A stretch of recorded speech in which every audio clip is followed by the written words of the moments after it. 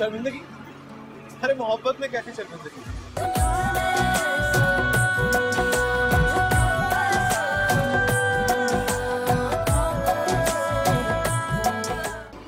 मुमताज़ जो तुमने कहा था वो फिर से कहोगी?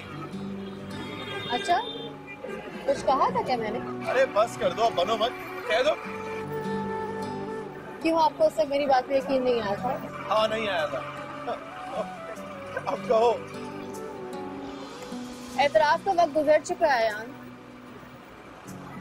कुछ लम्हे बेख्तियारी में अपने हाथों से फिसल जाते हैं फिर आखिर में सिर्फ़ शर्मिंदगी बचती शर्मिंदगी? अरे मोहब्बत में कैसी शर्मिंदगी? जिस तरह हम रिश्ते में बंधे हैं यार और जिस तरह की हमारी ज़िंदगी गुजर रही है ये किसी शर्मिंदगी से कम तो नहीं।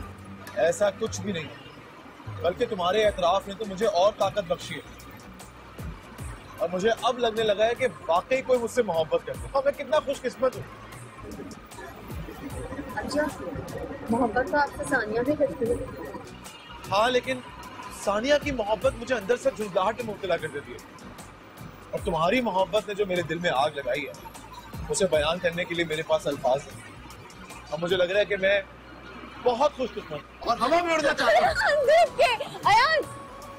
अच्छा थोड़ी देर पहले तो आप बहुत गुस्से में और बहुत नाराज़ थे। हाँ था। लेकिन अब बहुत खुश हूँ। क्योंकि मुझे लगता है कि दुनिया की सबसे अच्छी लड़की की शादी मुझसे हुई है। कुछ खाओगी? नहीं। अरे खा लो गोलगप्पे खा लो। चले आप खिला देंगे तो खा लूँगी। चलो।